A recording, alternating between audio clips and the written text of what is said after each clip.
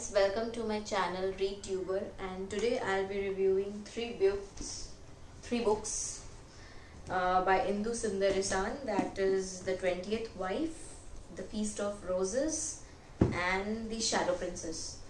So the 20th Wife was uh, the first book written by her in this trilogy and it's about uh, Mehrunnisa, the 20th wife of Shahzada Salim or Emperor Jahangir. Uh, she was the last wife of uh, Jahangir and the story starts from the point when she was born, when she was a refugee, Persian refugee and uh, it uh, leads us to the point in this book when she becomes the princess, the wife of Jahangir. So it's a very good book if you are interested in the history of India, especially the Mughal period. Uh, it totally, you know, uh, emphasizes on all the details that you would want to know about their lifestyle, their extravagant lifestyle that they used to lead at that time. The, you know, the construction of the uh, their harems, their palaces, all their courts, their uh, uh, you know the, their clothings, everything, every detail. This book has it. So if you are interested in all those details, and there are also you know uh, the events that uh, she has described in this book, the series of events that is described in a beautiful, interesting manner that you would totally love it. That you won't feel uh, bored at any point of time. Sometimes the informations are little, you know, too much but uh, it's okay uh, you can totally skip those part and you can go ahead if you are not that much interested but this book is totally you know i love this book so if you uh, are interested in that history historic events and all that so i'll totally you know uh, suggest you to read this book. So second part of this trilogy is the feast of roses which also uh, portrays the life of Mehrunnisa uh, it revolves around her life only. Uh, like how she become how when she became the empress of the mughal empire and what series of events led to uh, her being the most powerful lady of that empire? Not because only because she was the most uh, she was the empress at that time but also how she exercised her control over all the political matters of uh, you know the states. And uh, it after that uh, this book also has contents events described and what series of events led to her downfall. Like how uh, she was then sent to exile not exile exactly but in some place where uh, she was not allowed to you know uh, have any uh, interference in the matter of court.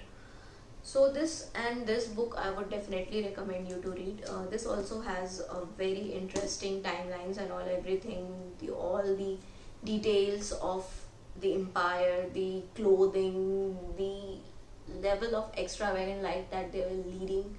So if you have interest in that i would definitely recommend these two books for you. So i would uh, rate these two books 3.5 to 4 out of 5 these so now let's come to the third part of the trilogy that is the Shadow Princess.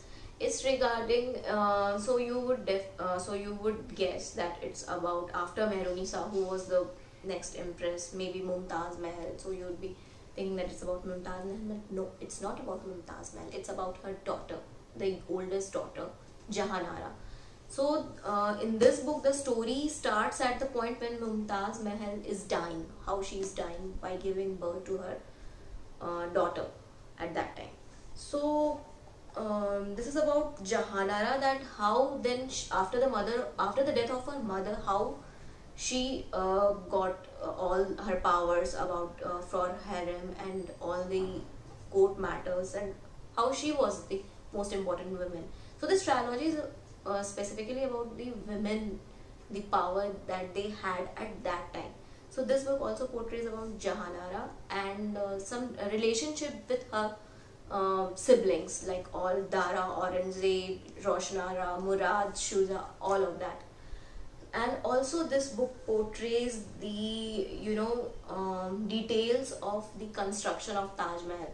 So the writing style of this book is a bit different from these two books because they were a series of events very uh, specific in timelines and this is also uh, very you know dated like every story uh, you can see that for all stories when it starts there's a date mentioned that what in what year this uh, the this uh, events were taking place. So it is also having a proper timeline but in uh, in the middle of two stories or between four stories there was one chapter or you can say in that pattern that it's about Taj Mahal. That the story of uh, how the construction of Taj Mahal the progress of how each uh, pillars were uh, formed that how Taj Mahal uh, was you know constructed at that time. So it's in very much detail. It's it I'm completely describing all the details of Taj Mahal construction as well.